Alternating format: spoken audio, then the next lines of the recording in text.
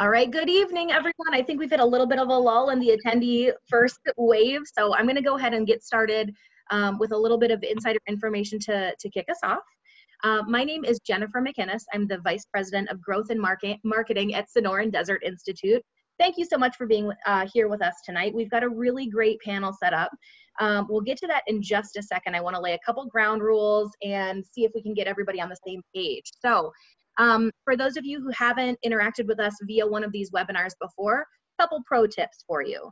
Um, first and foremost, if you do have any questions that you'd like me to take a look at and then pose to our panel tonight, please be sure to do that in the Q&A section of your webinar dashboard. Um, there are two ways to interact tonight. One is via the chat. I would reserve that just uh, if you would for kind of interactions between the attendees and anything that you'd like me to lay eyes on, like I said, to share it with the panel, go ahead and uh, earmark that for the Q&A section. That'll help me keep everything organized. I'll be uh, monitoring both of them, but um, would love to get your feedback and any questions you have for the panel, just put it in Q&A for me.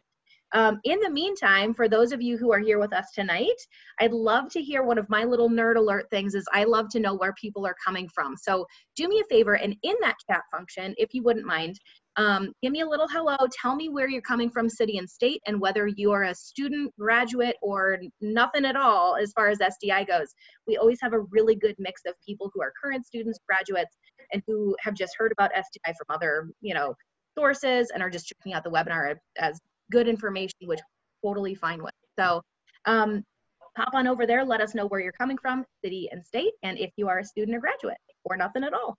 Um, okay, great. So those are my mate. Oh, one more thing. We are recording this session tonight, as always.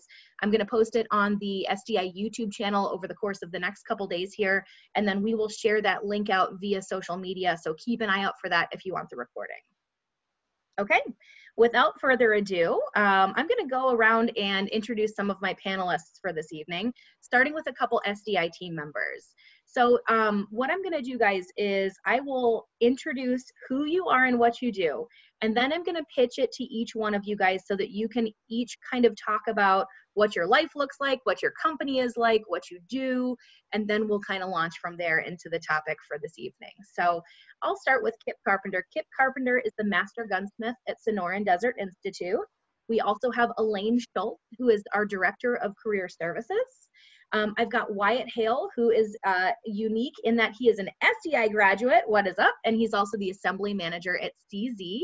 Um, Shaylene Keiner is here with us, uh, founder of Headhunters NW. Can't wait for her to tell you a little bit about that company. And then we've got Leeor Englestein with us as well, um, who is the owner of Full Conceal Manufacturing. Thank you, panelists, so much for being here with us tonight. We really, really appreciate it. Kip, I'm going to start with you. Why don't you tell us a little bit about what you do, um, your background, and anything that pertains to tonight's topic that you want to weave in there? Go for it. Sure. Want to say hello to everybody and welcome to the webinar tonight. And I hope we get every question that you want answered. And I also want to give a shout out to one of our former students, Wyatt, on his position at CZ. We're really proud of him. He, he really uh, kicked some butt and got out there and did it. And he's a fine example of what you can do if you apply yourself. So my hat's off to you, Wyatt. Great. Thanks, Kip. Um, yeah, go ahead. Any, any other details on that? Sure. Uh, my background a little bit started a long time ago, about when I was 15 years old. I got a big interest in guns, like a lot of young men do. I wanted to hunt and I wanted to shoot. My dad was a shooter, wasn't so much a hunter. My best friend's dad was a hunter. Kind of worked out best of both worlds. He was also a gunsmith by trade. He worked for a place called American Wholesale Supplier, much like a huge Bud's kind of situation, but they also did gunsmithing and warranty. He taught me and his son all kinds of things. And one way he would teach us is teach us without knowing he would come home with a box full of parts and a manual and say, good luck. You can put together, we'll go this weekend. So, and this would usually be on a Wednesday, by the way. So we would get to reading and we would get to things. And that brings up my point about online education. Hands-on is great, and you can do your own hands-on. I will tell you that. But you gotta have the knowledge up here first to know what you're gonna do with those hands. So that is what really started me on my quest in gunsmithing there wasn't a lot of schools back then. There wasn't a lot of anything from this back then. And I read every kind of book I could get my hands on. And I've done this my whole life. And I, I went to uh, a couple of schools and stuff later in life because I felt like I needed to do something to stay current. So I took three of them at once. And in about 2015, my shops up here in Tennessee had grown to where I was one of the biggest, if not the biggest, in Tennessee. That all happened because of a dedication to learn and a motivation to learn. I did not have it easy in schools and stuff. So those of you out there say, "Well, I never did good in school," hey, neither did I. And I even eventually went beyond and actually went to college and got some tutors and did my own thing. So don't ever let nobody hold you back and know that you can do anything you set your mind to. I'm living proof of that. Awesome. And I, I apply those principles every day to my life. And a little bit of what I do with SDI, I was approached in 2015 or 2015, I'm sorry, with this very nice lady down here on the end by the name of Jennifer. and we all kind of came in at the same time. We were a small group. And we all had this vision. And everybody brought with them a piece of that vision. And that vision grew and grew and grew to what we are now, which is getting to be a very big company. And we grow every day. And we have great industry relationships with, with people like you see on this panel and beyond. And we just strive to do this every day. And that's pretty much my background. I shut down my big shop to strictly go to teaching with SDI full time when it was offered to me. And Jennifer will tell you, I've been, I'm a man with many hats. I'm part of the curriculum team. I do part of the leadership team. I'm part of, I do a little bit of everything, basically. That's right, you do. and, and uh, you know, and I love every minute of it. I love every minute of it. And when I get to meet somebody that has gone on and does it. You don't know how well it's it, it means more to me than myself. And know that you guys out there can get out there and you're keeping this art alive. And we're striving to get better and better and better every day in our curriculum department. We're looking at things to change everything. Sometimes we change, and now we're looking next year to go even bigger on some things. And the whole point is to give you all of the industry secrets that we can to give you the backgrounds that we can, to give you all the experience we can, and get all those little tips and things that old gunsmiths like me kind of keep aside. Right, Wyatt? A lot of those guys will hide a few things and won't tell you quite everything because they don't want the competition. We're going to teach it.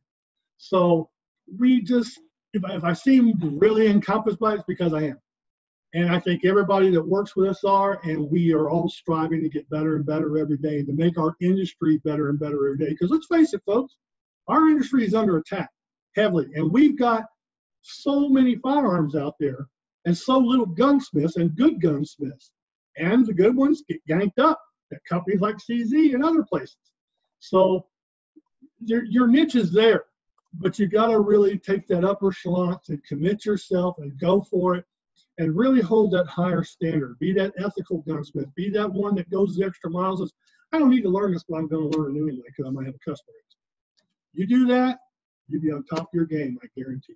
Awesome. Thank you so much, Kip. Um, I'm going to take it to Alleyn, if you don't mind. Um, you want to kind of give us a little bit of your background, what you do for SDI? Sure. Um, I'm Alleyn Shultz. I'm just the Director of Career Services over at SDI. Um, what we do here in the department is get you ready to be that professional gunsmith out in the real world.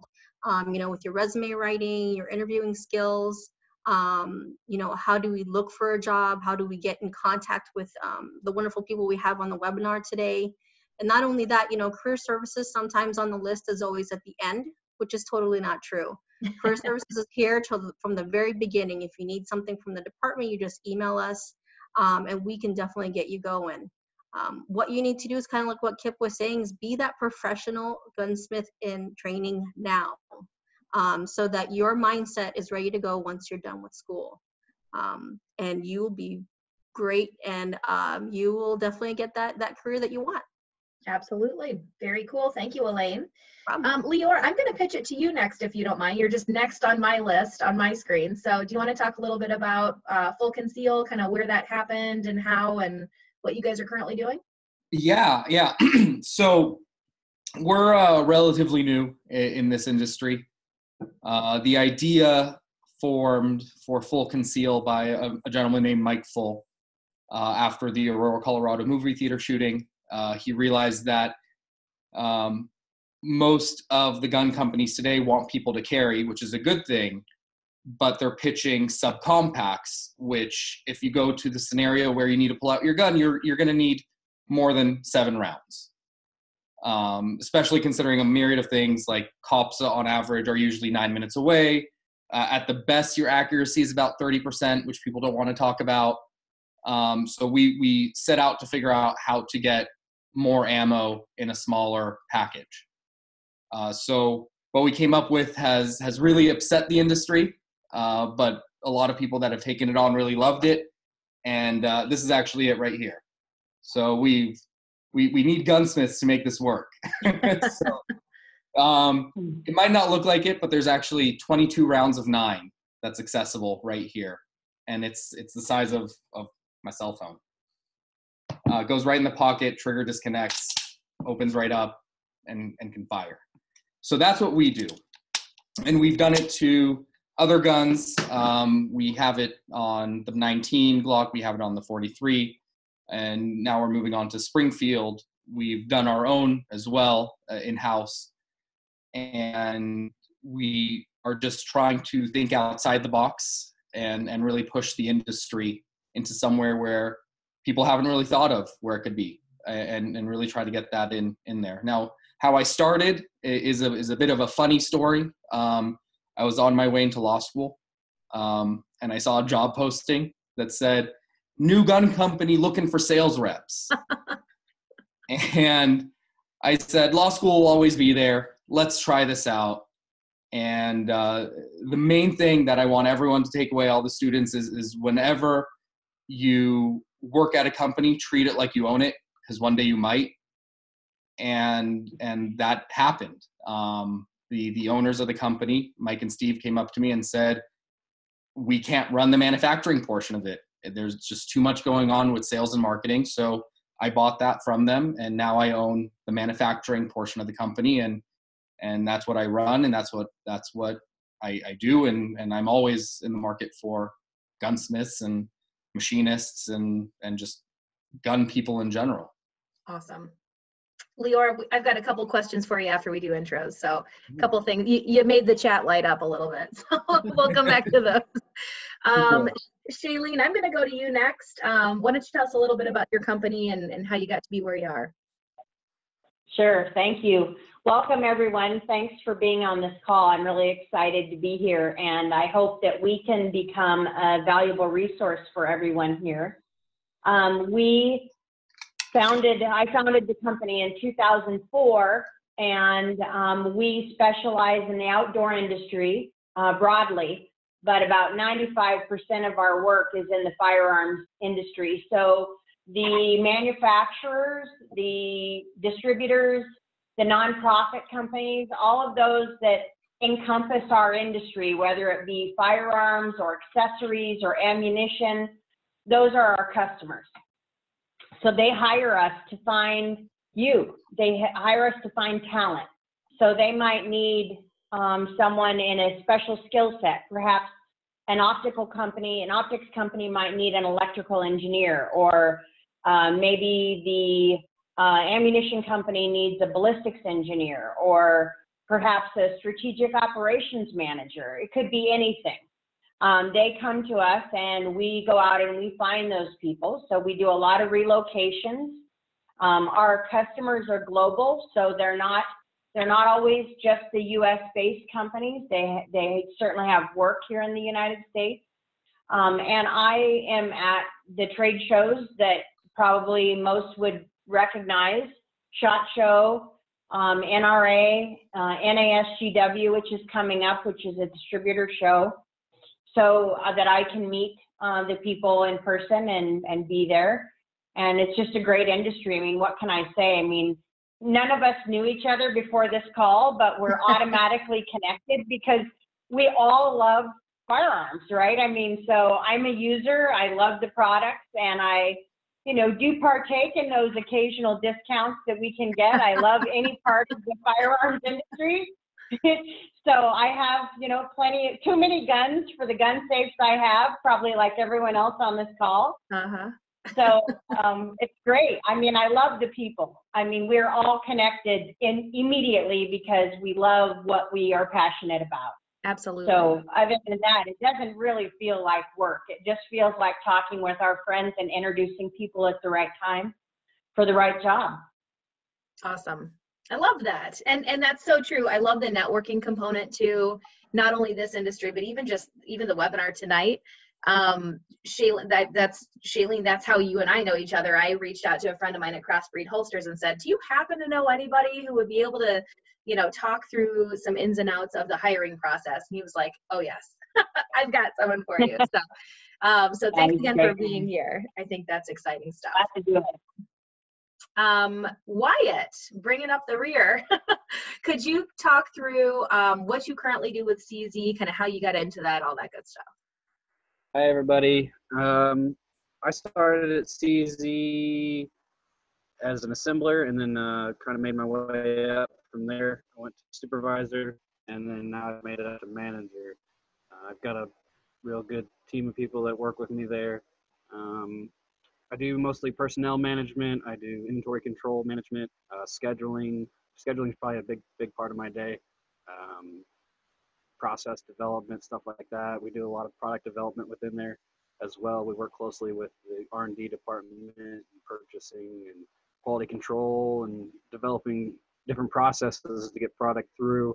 Um, so it's it's been great. It's been a great ride uh, getting to where I'm at and looking forward to where I'm going. Awesome. Very, very cool. So let's dive in a little bit. Um, those of you who, I, I, saw a couple people in here who are not SDI students and grads, and that's pretty normal for us. It's usually about 60, 40. Um, those of you who are not, just so you know, Sonoran Desert Institute is an online firearm specific college. Um, we everything you do is online. We ship all of your tools and resources because we do believe in a huge hands-on component. Um, all of that comes to you. So if you have any questions about what we do or offer or how we do it, um, please let us know, uh, sdi.edu, or you can email our admissions team at admissions at sdi.edu, but I won't spend too, too much time talking about that. So let's go ahead and dive in. Um, we talked a little bit, even in, in just the intros, about um, what, like the types of jobs that your companies would be hiring in. Uh, but Shaylene, we'll come back to you for a little bit on that. What I'd like to go first for is we're going to start easy when you guys are hiring, um, and and everybody's kind of coming from a di different direction here. When you guys are looking for someone to hire, we're going to start with soft skills, and then we'll build into the actual technical, you know, trade skills as well. So um, I think those are kind of uh, super important on both ends. So let's start with soft skills. Um, when you are looking to fill a position, can can you guys give me an example of the types of soft skills that you're looking for? Leo, you were shaking your head, so I'll go to you first yeah, soft skills for me personally are are probably more important than the hard skills. Um, hard skills you could learn them on the job. You could learn them by taking class. Um, soft skills, if you don't have them, then I can't teach them to you. Mm-hmm. Um, and and the reason why that's my mindset is, uh, to be quite frank, I spend more waking hours at work than I do with my family. So if I'm hiring someone, I want to enjoy their company. Yep. Uh, so so if someone is coming in with the, with a bad attitude every day and has just no real will to learn on the job, no real will to play nice with others, mm-hmm. Um, then it's not going to be a good fit. Definitely. Uh, and, and we could go through teaching what we need on the job, which we're going to do anyway later. Yep. So that's why, for me personally, soft skills is, is what I look at. How can you hold a conversation? How you could work with others, and that those are very important to me. Absolutely. And I'm going to take one step back, and Alleyn, I'll tee you up for this one. We had one person say, Ooh, help me out soft skills versus hard skills. so if we could kind of work on definitions there and frame some context, that's that's my fault. I probably should have started with those definitions. But Alleyn, do you want to kind of talk us through um, the difference between soft skills and hard skills, that kind of thing? Yeah, soft skills is typically your communication, your your professionalism, um, you know, your attitude. You know, those are the things that are, is something that you kind of grow along of you know when you're having other jobs or when you're when you're in school um, the hard skills are more of like your technical skills like how is it that you're doing the the manufacturing part of it how are you understanding how to explain um, certain parts of the firearms, right? So um, those are your soft skills versus your hard skills. It's the soft skills, like Leah was saying, is a lot more something that someone's looking for. And even on your resume, that's what you want to highlight as well, because they could always teach you everything else. You just have to know the basics.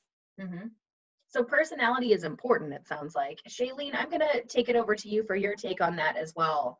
Um, especially since you're hiring for different types of positions. If there are any common threads there for people that, that you know, characteristics or soft skills that you find make uh, a successful job applicant, I think it would be great to hear those. Sure.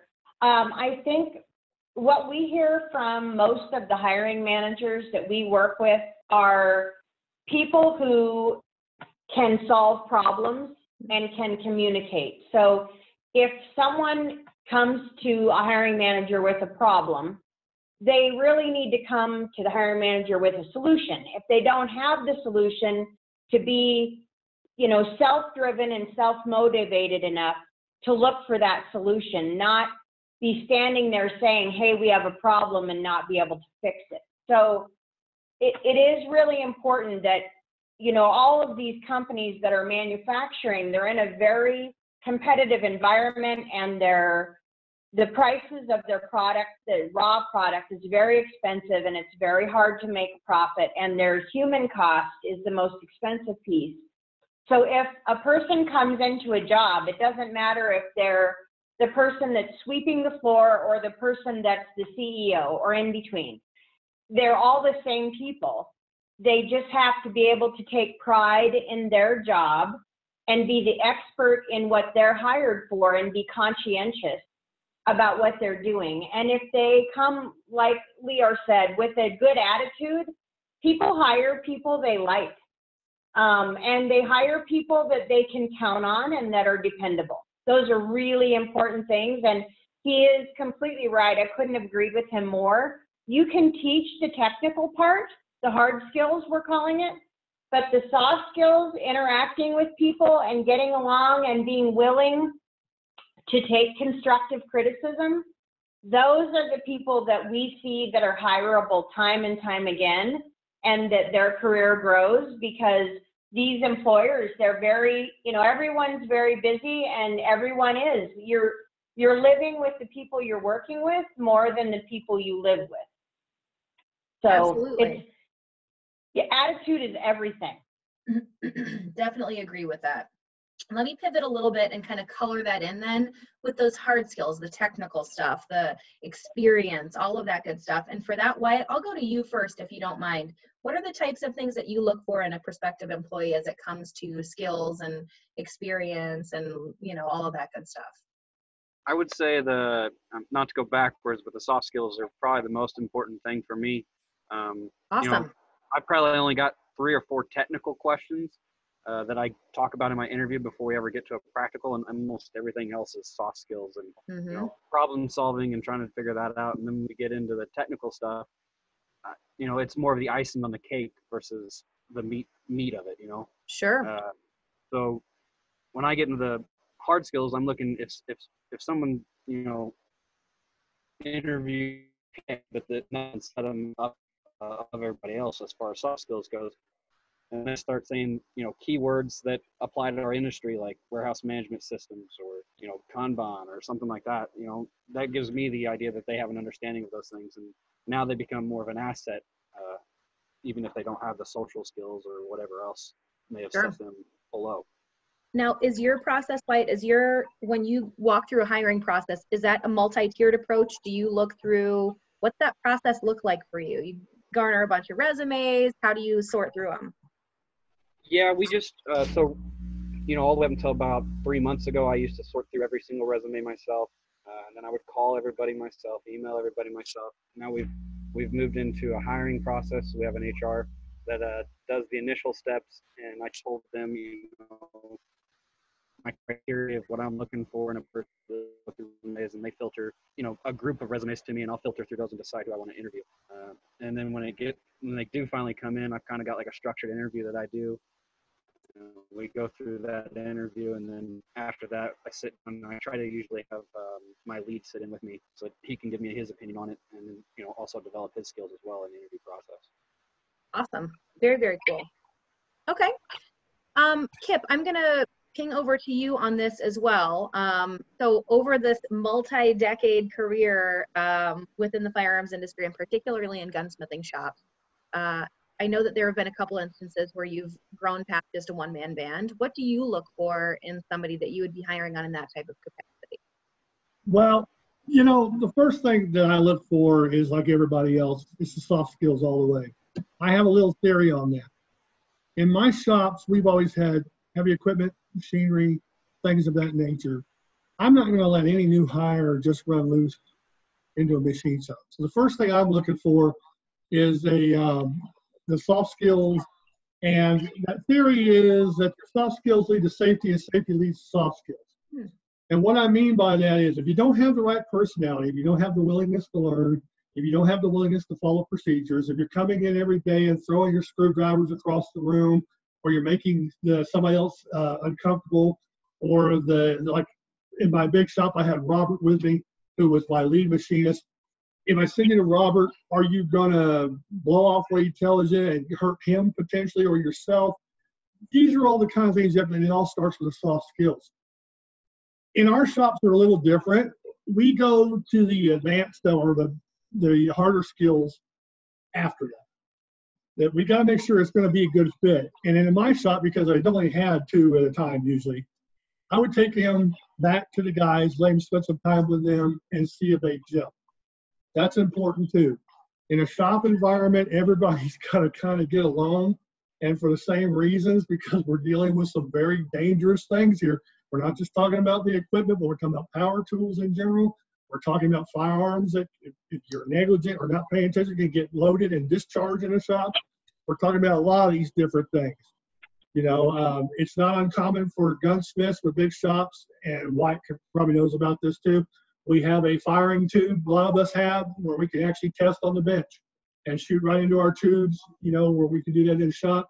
That area has to be secured, it has to be safe, you have to know what you're doing. So if I get that employee that comes in and has those skills and communication skills, which is huge one, because you're dealing with customers. So I can't have somebody in the shop that's cussing and throwing things or can't even communicate with my customers. I need someone who can do that. Now we can get around a lot of that in a lot of ways, but I need that willingness right off the bat. If I don't have that, it usually doesn't even get past that. But if you do have that, that's what I think a lot of employers are looking for. Um, I want somebody who's dedicated that really wants to learn before Mhm. we do all that. Because then the next thing that comes will be the harder skills, and the first thing I'm looking for is knowledge. Right here, what's what's between your ears. You can tell me steps and procedures about things I might ask you, like have you ever done a barrel job? Have you ever assisted with a barrel job? Mhm. You know what's involved with that. You can just take me those basics, and you know we kind of know you know you got your feel to it we can take it from there and then because you're going to be doing this anyway you're going to be standing next to me for a while or you're going to be standing next to robert for a while and you're going to be doing the actual work until we feel you're good enough to let you work on a customer's thing because liability is a huge thing folks Absolutely. Um, so we have to be careful like that. And we have to adhere to osha standards. We have to adhere to the epa standards. We have to do we have a lot of things that goes into the business and it's not hard. You follow the rules. Yep. follow the rules. Everybody's safe and everybody's great and we usually have a lot of people that go a lot further that way. So definitely your soft skills is a must if you uh, have it cussing try to clean it up before you start going and talking to these people on this panel for a job Maybe don't lead with that kind of thing on the interview then, is well, you're know, let's face it, folks, the workplace has changed too over Yeah. the years. Mhm. Lots of things that used to be PC five years ago are no longer PC and can get your butt fired real quick. Sure. And my shop. So that's that was that was I was just reiterating what they're saying, but that Yeah. a blue collar shop like mine, we hold those standards too. Absolutely. And I've got a really applicable follow-up question from the Q&A section here. So um, Aaron has chimed in and he's got a specific background and I think um, all of you listening from an attendee perspective um, put yourself in Aaron's shoes and just apply whatever your background is to what he's saying. So Aaron says, um, if someone like myself who's in the IT industry, I may not have firsthand experience, but I'm capable of learning the systems. What's an applicable way to approach those conversations without experience? So I think what we're asking here is how do we um, make the leap from maybe I don't have this experience right this very second, but I know I can learn it. I'm willing to do so. How, how do you position yourself in that conversation to really have that messaging happen to your future employer? Uh, I don't know who I want to have tackle that question. Um, anybody want to raise a hand on who wants to take that one? Go ahead. Yeah. I also do this one. So I, I, I was in that position myself uh, Mhm. in changing a field. Um, it's very hard. It's an uphill battle, uh, but ultimately, what you need to do is you need to show that you have taken some sort of initiative to learn that field. Uh, you need to also show that you're receptive to learning. Um, how that's done, uh, I mean, how I did it, um, uh, it, it comes to a point where you just can't give out resumes anymore. I, I just started knocking on the door hmm and putting myself in the face of the hiring manager and and really pretty much forcing them to sit down and talk with me um, so that's if you show that initiative uh, as a as someone who hires if someone shows me that initiative they're they're gonna pretty much get a, an interview just because i like how how ballsy they are Sure. um, and and that is something if you're changing career paths then you need to put yourself out there more than normal and also you need to understand that you're probably going to take a pay cut to get into a field that you want to get into I think that's a good expectation to set for sure. And and that's super applicable to some of the rest of the things that we've seen come in the chat recently um, along the same lines of like, hey, I've been doing this one thing. How do I get into the firearms industry though? How do I like break my way in? Shaylene, anything to add to that kind of thing? That's a tough one. I think that's common. Um, that's a common request we get. Um, when I travel and people hear about what we do, they, they want to be in our industry. We're very lucky, all of us, that we get to do what we love every day. I think if you're trying to break into the firearms industry, um, getting some formal training, like, you know, this, this organization that you all represent, that we're good enough to be on here, at uh, SDI, I think that's that's a primary thing to do because that'll give you the technical experience in that area. The other thing that you can do is go out of your way to learn about the industry, attend trade shows. For instance, the NRA trade show is open to the public. That's a consumer show. Um, and there's also um, there's there's other consumer shows that you can attend, so you can get right in front of the manufacturers. If they have a booth, they're there. You can talk to someone. You can visit with the sales guys. They usually talk to anyone. LinkedIn is a really, really good tool, and anyone can join LinkedIn.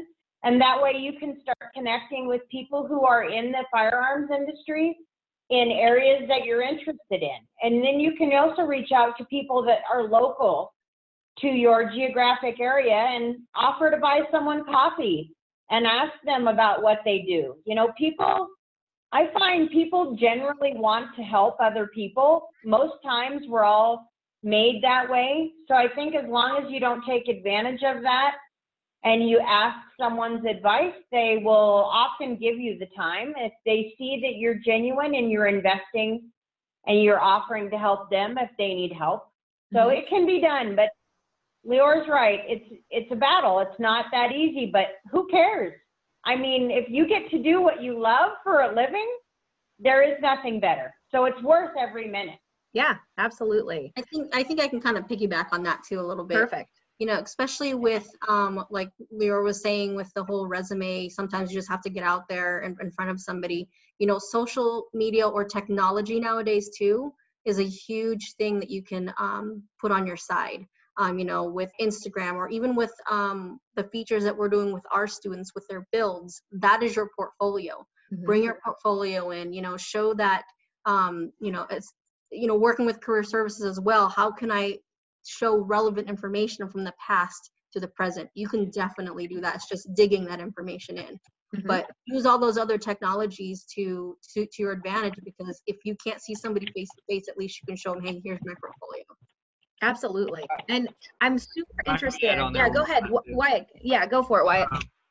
So I think the original question was on um, someone was in the IT industry and was asking about they don't have experience with WMS, but they have experience with IT.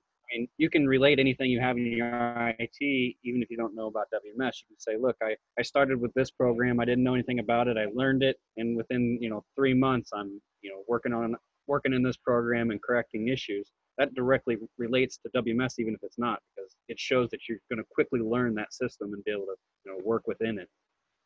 Great point. Great point. It's just finding finding things, the skills you already have, and trying to relate them to what you want to show that you can do.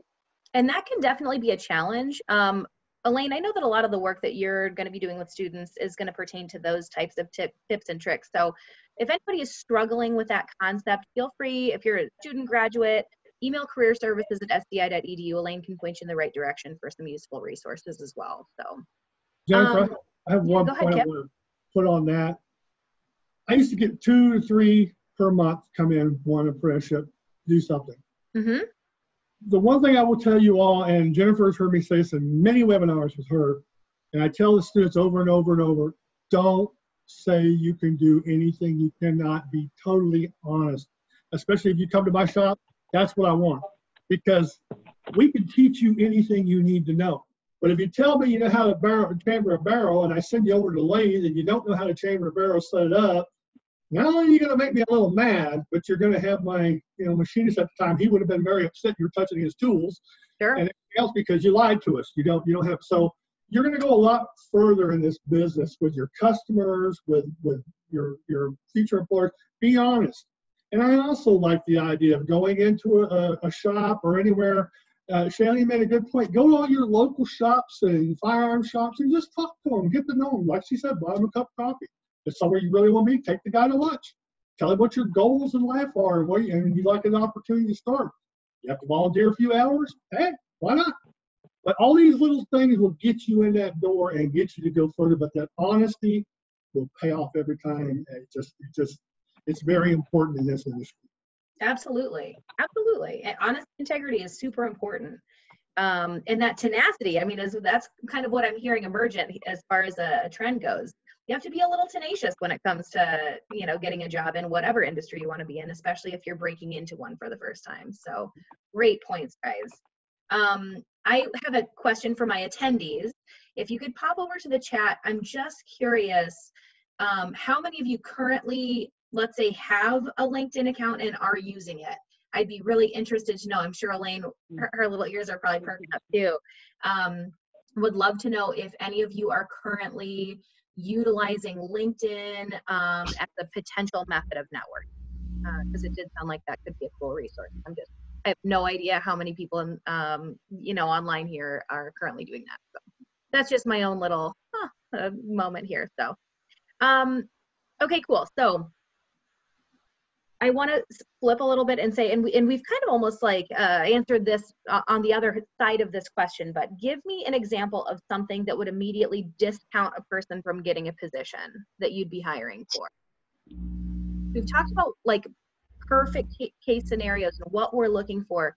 Give me an example outside of like, well, you walked in and lit the place on fire. You know what I mean? Give me an example of something you would see on a resume or during the interview process that would immediately discount someone from getting that position.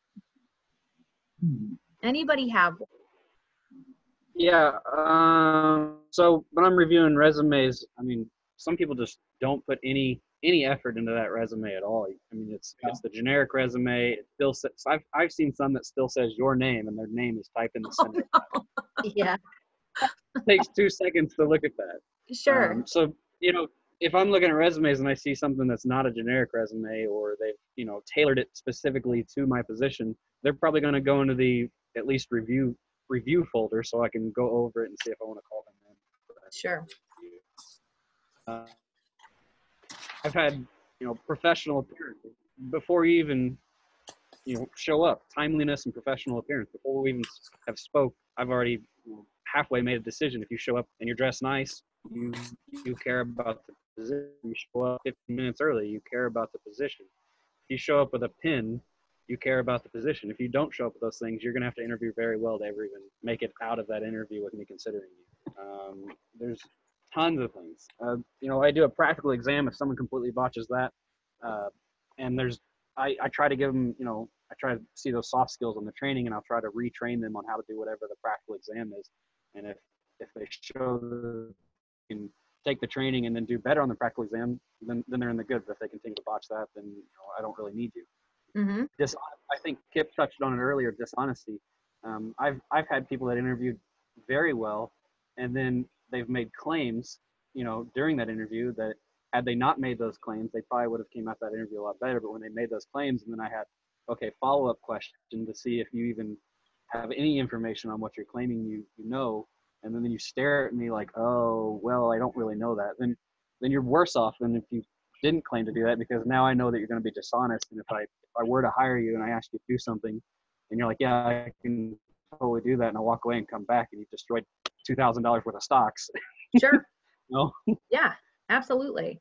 Uh, Um, I- Uh, And then and then on the resume, one last thing. One thing on the resumes is yeah, I look through and if if you've had you know three months at a job, three months at a job, three months at a job, like hiring someone is is my time and effort, and I I don't want to put time and effort for you to leave in three months and you have to do this all over again. great point. I'm seeing a lot of nodding heads down here. Um, I have a follow-up question, and this could be everybody could have a different answer to this.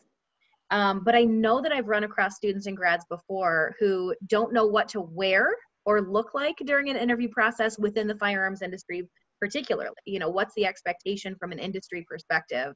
Um, Wyatt, I heard you say kind of look nice, right? Look the look the part and everything. What do people expect out of uh, you know, person walking into a room for an interview from that?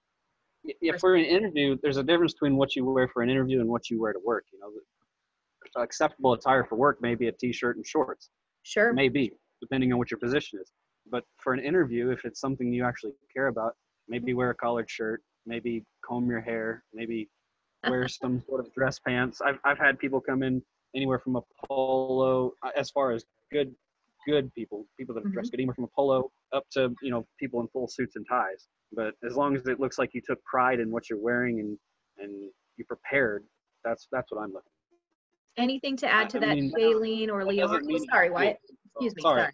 that doesn't mean it has to be expensive at all. You know, some people can't afford nice clothes, but if if your presentation looks like you put forth the effort for your presentation, then I'm going to consider that. Great.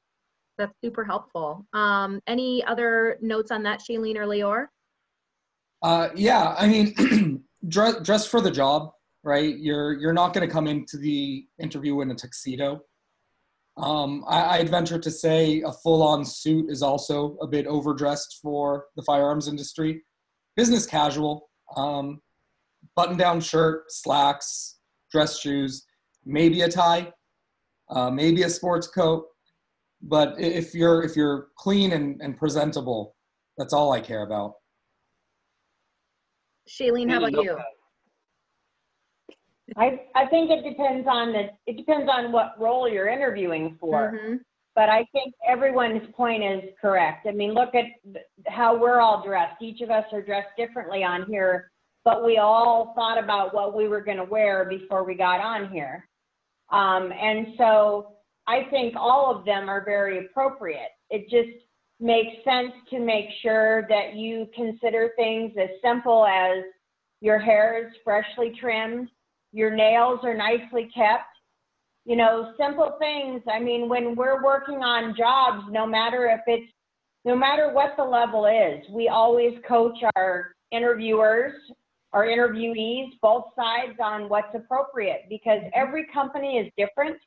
So some firearms companies are very casual and some manufacturers are much more conservative um, and r- expect different things, but it depends on the role that you're interviewing for. You can't go wrong dressing a little bit nicer and making sure that you have a fresh haircut. You just can't go wrong. I have like the most gunsmith question of the evening. What about beards? Ha- popped up in the Q and A section over here. Listen, I got no problem with beards. However, however, let me say something about beards. Mm-hmm. You're applying for a position where your beard becomes a hazard. If you're going to be working with a lathe and you're going to wrap your beard around that lathe at, you know, 2200 RPMs and it rips your face off, that's an issue. But if you can keep yourself trimmed up, neat, or if you're in a position where it's not an issue, as long as it's neat and professional, that's okay. However, you you want to, like everybody else said here, have some good hygiene. That doesn't cost anything. Right. Uh, and you can get the Super Clips or Walmart even and just get a quick trim. Makes an impression. That tells us you care about your looks and you care about what you're trying to. You're trying to get this job. You're not coming in with a holy t-shirt, holy jeans, sucking on your vape pipe and coming in and saying, "I want this job." Ain't gonna happen. Not in my shops. But I think here that even if you're budget challenged, and we've all been there in the past. I know I have in the past. Walmart doesn't cost a lot of money, so if you if you could just have a nice set of dress jeans, a nice shirt that's just appropriate, that's fine. You don't have to go overboard. That's going to get us past that point. Tell me you're trying to get the job from me, and now we're going to concentrate on those things that we need to concentrate on. Mhm. Okay, great. Um, Kip, I'm going to keep it with you for this next question. Does having brand-specific certifications help when it comes to applying for jobs? And then Wyatt, I'll probably hit you with this as well. Um, so as an example, um, Aaron has worked towards Glock Armor certs, that kind of thing. So platform-based or manu- manufacturer-based, smaller certificates, does that kind of thing help in the job search? Not a deal breaker when you're coming into a shop on an entry level, like an Sure. apprentice or beginner. You're an experienced gunsmith, and I ask you, what continuing education or have any education have you had? Mhm. One thing I have found in this industry, and I imagine Wyatt can touch on this too, and probably Shaylene, a lot of gunsmiths will tell a lot of students, don't go to that school, it's a waste of time. And they're not just about online schools, they're talking about, you know, uh, brick and mortar schools, everything, because they never did anything. They don't want you to get better than them because you're competition. You're a threat. So they'll never tell you that, but they want to keep you on that level. So keep that in mind. I, you know, this subject is is one of those subjects that the individual really just has to make their decision of what they're going to do. Mhm. I, I, I don't I don't know. Why? What do you think about that? I- I think um, so. So me, for an example, I've seen people asking questions in here like, "What's the next steps after SDI?" Yeah, and Questions like that. Um, you know, when I was at SDI, I was living back in Illinois. I googled gun shops around me. I googled any firearms job around me, and I Mhm. went to those places and tried finding a job there.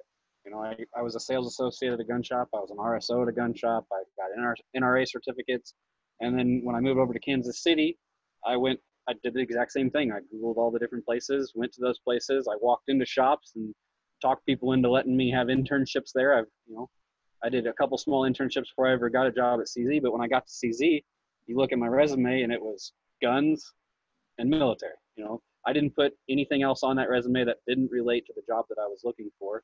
You- You're not compelled to put things on your resume that don't apply to the job you're applying for. So when my boss was looking through you know hundreds of resumes and he comes across my resume and it all it says is guns it's not going to hinder me it's only going to show that i have a passion for it and he would at, at the very least want to call me in for an interview to see if i'm a prospect or not and i do the same Sure. thing when i'm when i'm sorting through resumes yep, Absolutely. And the other point is, as far as the certificates go, well, if he's talking about Glock, you can see there's a few back here. right, Every, everybody in the gun shop, the reason I point that out is, is everybody that was in my shop got one of those the same day I did. So to answer his question about certificate, you don't have to have those things, but more than likely, if you're in a legitimate shop that cares about their customers and their future, they're going to send you to an armor school. You're going to have to go through them anyway, because unless you have your own FFL, they won't even talk to you in a store because Yeah. they want potential dealers and things like that. So, you know, if I was to, if CZ, off, for instance, offered a armors program, I'd probably go take it just to have, just to take it because it's, I might learn something I don't know. Hey, just Sure. having 40 years old, mean I'll learn new things. That's how you learn, folks.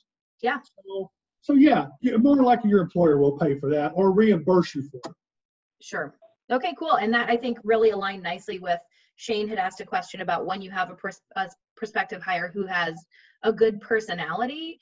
Like, is it an expectation for that person to go and continue their education to become more competitive? But it, it sounds like um, y- it, in many cases, an employer will do that to kind of right move move their business forward for their own consumers. Um, Yeah, Leeor, I see. Yeah, go ahead. Go ahead. you know, this from a human resources. Sure. point. We cannot force people to go out and do things like that. Yeah. Because we just can't do it.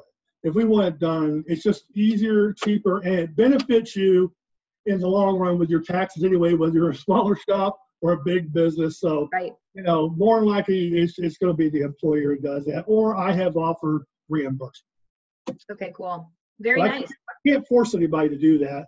That's at least that's what my attorneys told me when I got in the business. I'll always listen to the attorneys. That's a good tip, Kip. I'm done. cool. I'm not that dumb. Um, let me do this. I know we're kind of winding down here last couple minutes, although this has flown by you guys. Oh my gosh. Um, give me a couple questions that you typically go to during like an interview when you're interviewing someone. Um, what are some of those good questions that you use to figure out whether or not you you want to hire that person? Leeor, I'm gonna go to you first. You're making such a good face. I'm going to you first. This, this is this might sound silly, but I've had a number of people walk out after I've asked them this. Okay. I'm a little nervous, but go ahead. Uh, are you comfortable around firearms? Like, Oh, that's, that's so interesting. Yeah. It's just that's that's my first question because I don't know who this is outside of a piece of paper that's the resume, Right. and and sometimes I'm looking for somebody who isn't necessarily all in the gun industry. I'm not looking for a gunsmith. I'm looking Mhm. for someone who does my shipping and receiving. I'm looking for someone who does a QC that I don't want them necessarily in the knowledge of firearms because they could overlook things. They could think that they know everything. So I want someone with fresh eyes. And that also breaks into how do you get into the industry? Sometimes I am looking for someone that's not in the industry. Uh, so the question is usually off the bat, are you are you comfortable with being around guns all day? And I've had a number of people say no and walk out. Oh my gosh. Did they not know what they were applying for? Is that And, you know that that is interview? that is one of the questions that I want to know if they know what they're applying for. Yeah, Um, people just go and apply for everything. yeah. So It's super that is- interesting. It's a nice question to ask to see if they know what they even applied for. Yep. How about Wyatt? Uh, what's your process like? Any go-to questions that help weed, weed people out? Uh, I have a favorite question. Um, I don't want to Okay. specifically say what that question is, but it's more of a. I ask them, do they have good problem-solving skills earlier on in the interview, and then later on in the interview, I have a, um, a few different questions. Like it, it may be one or the other that I pick, and it, the question itself is complicated. Okay. So I want to see their problem-solving skills to even. I watch. I have. I don't even care how they answer that question, honestly, at all. But I sit and I watch them, their faces and their brains work through the actual question itself before they can even get to the point where they come up with an answer. And if, if they told me they've got good problem solving skills, well, they should come up with a good answer. If they don't have good problem solving skills, which I've had many people do, they sit there in silence and I'll sit there in silence and finally they'll just go, I don't, I, I don't, I don't know how to answer that question. Okay. So you kind of Google them. That was always that no one should, yeah it's not that it's a question that's so hard you shouldn't be able to answer it's just Right. a question that's worded so that you have to think about the question and solve how to answer the question more Yeah. than it is about what the answer is super interesting. I've always I've heard of some of those high profile like Fortune 10 companies doing stuff like that just to put you on the spot and see you work through that that problem solving bit. So that's super interesting. it, it's mostly walk out of there you know, sweating. yeah well I, i've definitely had some of that but it- Yeah. you know it, i do that right before the practical too so if, if it didn't go well it's probably going to frustrate you before you even get you to practical but you know it's more so if you know I, I i understand if that employee if i hired them if there was some sort of situation that came up if if they're going to need me holding their hand or if they could use the tools that i provided them to figure out how to solve whatever it is Yeah. Um, let me spend just a little bit of time in the last couple minutes here on a question that I'm seeing like different phrasing of um, throughout the evening. A lot of this, the people that enroll at SDI will be looking for their very first job in the firearms industry when they leave. Um, so if we could spend just a minute on entry level positions and raise show of hands, um, who here would be hiring or would be looking for specifically entry level type people or have looked for that type of thing before? Okay. Um, so I'll leave it to Wyatt and Leeor and Kip if you have color for that. You certainly can can chime in here. Um, I think one of the concerns of a lot of our students and grads are, oh my gosh, okay, so I have this education, I want to get in the firearms industry, I don't know how to get in the firearms industry, which I think we've we've covered quite a bit tonight. But what happens if I don't have like, do I need a whole bunch of machinist um, experience, or is there some way to to break through based on education and desire to be in the industry, that kind of thing? Can we talk through some of those concepts? Um, specifically for entry level types of positions and and maybe just and i don't know this for sure but there may be some cross references for entry level positions in many industries you know what i mean i feel like that that could be one of those universal truth type of scenarios as well um Leeor you want to take that one first yeah uh, i mean i'm I, i'm always looking to expand and grow um, right now my biggest issue is that I, I can't produce fast enough yeah. So I am, I am looking for new hires. Um, so one of the things that I'm currently looking at is someone with some machinist experience, and that will always get someone to the top of the pile. Sure. Uh, now, if someone doesn't have it, it's not a deal breaker because you went through SDI. That shows that you are serious, and I will take a look at that over someone who just handed me their resume.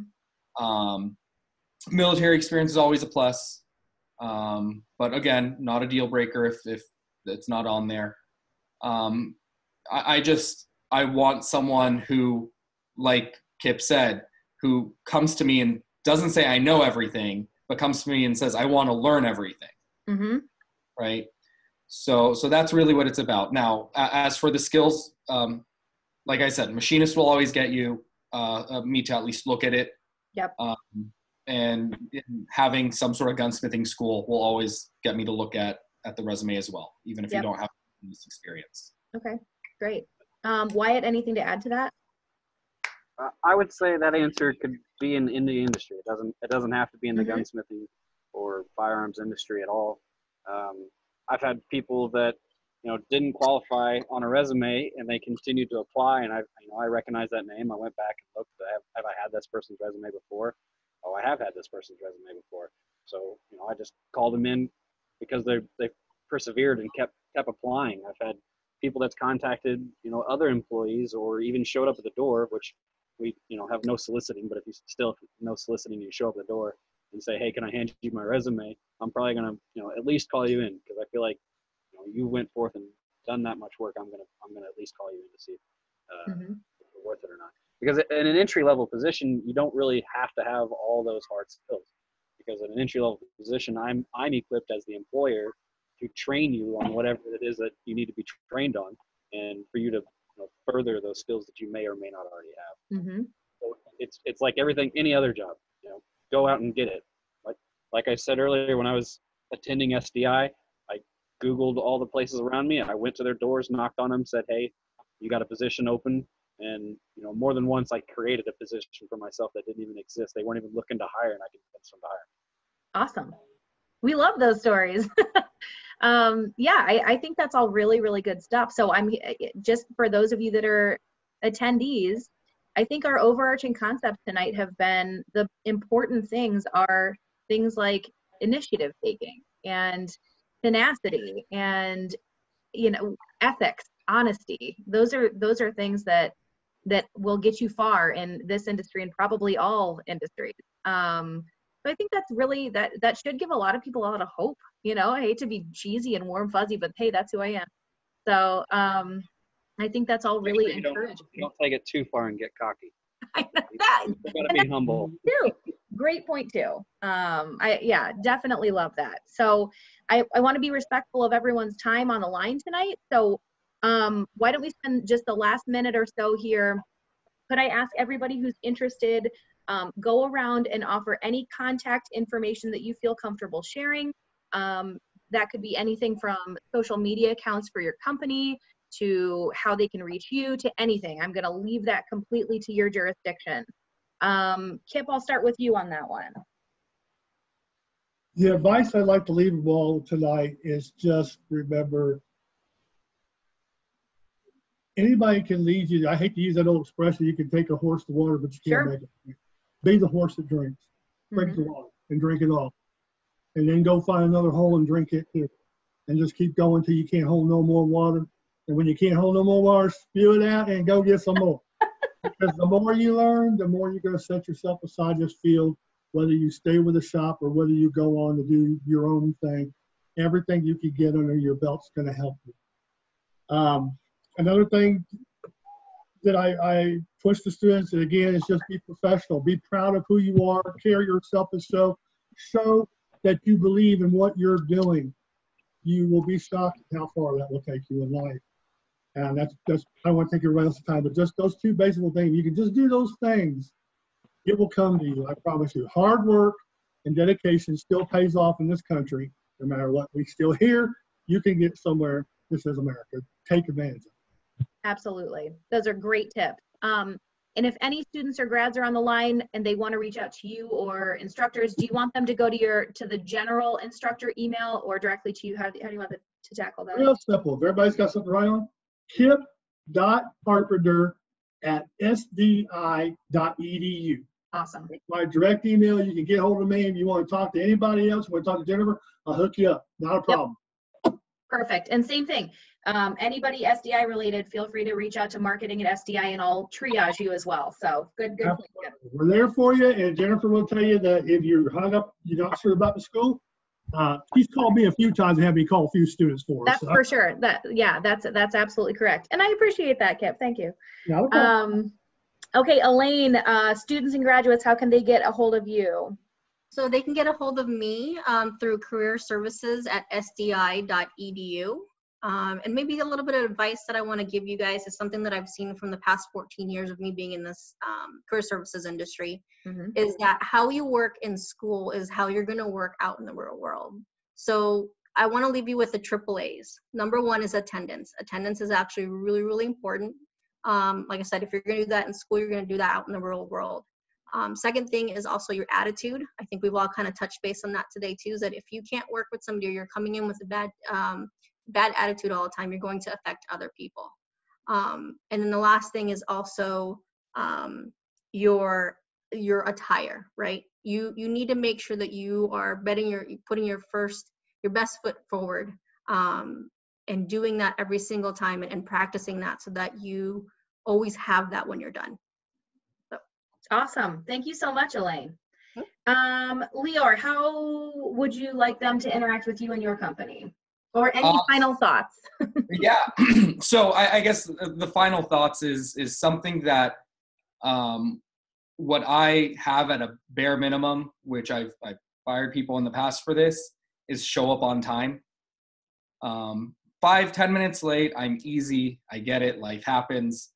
Um, but if you show up on time that's half the battle that's half the work. And and that will will keep you in my good graces for at least half the time and um, as for uh, reaching out to me, uh, Alleyn has all my info. Uh, she she's taken in all your resumes for me. I am Mhm. currently hiring, so just give her your resume. Um, I'm I'm like I said, I'm currently in Vegas. Uh, I see some questions also um, coming in. Unfortunately, we're not expanding out just yet. Uh, we like everything close to home for now. Uh, we do have sales reps all over the country, so if, if sales is your game, then by all means, give Alleyn that that resume and she'll pass it on to me, and, and I'll look at everything. Awesome, awesome. Very cool. It looks like you got a couple new fans uh, after today, um, okay, great. And Shaylene, uh, any last tips, final thoughts, or ways that um, the attendees can get a hold of you? Sure. Uh, anyone is welcome to reach out to us on our main email, and I'm going to give you that instead of mine because that way I can get some help fielding those. But they they will all get to me. So you can reach us um, through our website at headhuntersnw.com, or you can email us at headhuntersnw at headhuntersnw.com. So in all of that information is on our website. We're glad to be a resource. You're welcome to connect with me on LinkedIn. We have a, uh, you can find Headhunters Northwest, um, Headhunters NW. is probably easier to, to go find. And you can find us on Facebook, Instagram, LinkedIn, you name it, Twitter, I mean, we, we seem to be a little bit of everywhere, but uh, you can reach us. We do post jobs on those sites. So when we're looking for things, but we don't post all of our searches. So Sure. if you're ever at SHOT Show, um, look me up or NRA or NASGW or anything like that. Do reach out. We'd be glad to meet and talk and have coffee. And if we can be a resource, that's that is the only reason we exist is to serve the outdoor industry and specifically firearms. So let us know and we'll help you if we can. Awesome. Thank you so much. And Wyatt, um, any final thoughts from you or ways to get in contact with you? Anything you're comfortable with? Uh, I think we I think we covered a lot of good points. I don't really have a lot of final thoughts. Sure. Uh, you can get a hold of me. I- I don't really have a good way to get a hold of me. I'm always always busy. I, I would say I would give Totally you a link get that. to something you can email me on, but I don't want to not answer that. Yeah. What about um, company? apply at CZ USA? Yeah, if you were to apply at CZ USA and you put put in there that you know you saw me on this, and uh, when when the hiring officials are going through and you've got a comment that has my name in it, uh, it'll get you pushed to the top of the list. And I know not uh, immediately, but probably in about two years, we're going to make a large expansion down in Little Rock, so there'll be plenty of positions open there. Very, very cool. That's that's oh. what I like to hear. Is some networking there. Oh, a good time to go to school. That's exactly right. I, I'm typically at the shows, but I usually don't work them. So sometimes, every once in a while, someone will pop in at the booth at CZ and say they're looking for me, and someone will text me and I'll come find them. Very cool. Um, and for anybody that needs information on SDI, um, marketing at sdi.edu, E or if you have any ideas for me for future webinars, that's a great place to put those as well. Um, students and grads, as you've heard me say before, I love to hear about what you guys are doing, so keep me in the loop. Marketing at sdi.edu, any of our social media channels, tag us, let us know. I'll share all your fun stories and um, all your little highlights from your from all of the businesses that you're opening, all that good stuff. So um, thank you so much, everyone, for your time. Attendees, thank you for being here tonight. And panelists, we really, really appreciate all of your insights. Um, it's been a great panel and a great webinar tonight. Again, we will we have recorded all of this. Um, we'll post it to the the SDI social media channels, and then we're going to share it out with um, all of our panelists tonight, so that their friends, family, audiences, etc., have access to it as well. So thank you, thank you, thank you. If you have any additional questions, students, grads, feel free to hit up Alleyn on any of those outstanding Q&A type questions. Um, we will get you, point you in the right direction, get you any resources you need. Um, and everybody have a wonderful evening. Thank you so much, everybody. Thank you. Um, have Bye, a great night. I appreciate it. Thank you. Thanks. See you later.